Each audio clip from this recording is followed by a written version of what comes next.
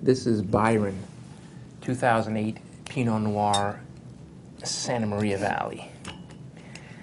Uh, Byron's a winery that's um, been producing Pinot since uh, since the 80s.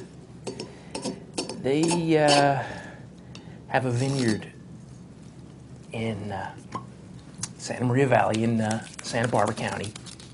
That's they planted, which is just uh, south and west of the very famous Bien Nacido vineyard. And it's a, it's a very ad- advantageous location because it's, um, it's in these foothills. They're sort of just inland a little bit, but it's right in the area where these ocean breezes come in and, and cool down the whole area. So, in a, in a region that is ordinarily very, very hot and sunny, you have this very tempering um, weather situation with the cool breezes coming off the ocean. And um, the grapes for this Pinot, even though this is just their Santa Maria Valley appellation, actually all come from their single vineyard, that Nielson vineyard. Um, nice. Uh, really pretty um, black cherry, spicy notes on the nose.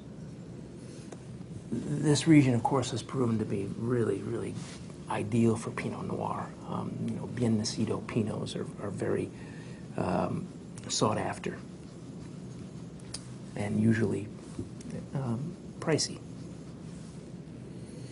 But anyway, back to the glass.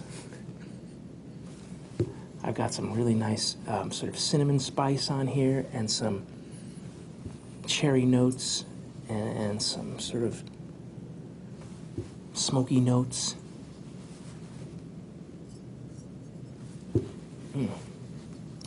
Get a little bit of a um, earthy quality, more like uh, sort of what you'd expect from a, a Burgundy. So there's sort of Burgundian characteristics to it.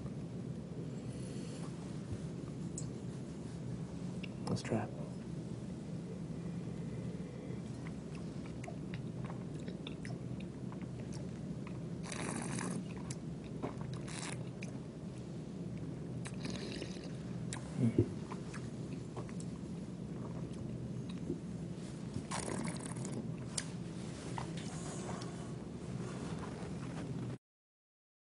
Mm.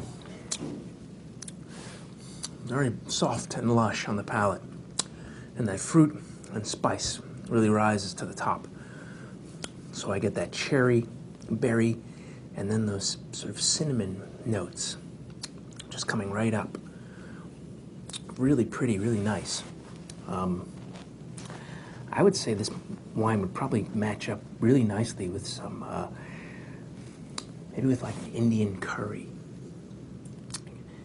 play off some of those spicy notes in this wine. It'd be really interesting and really nice.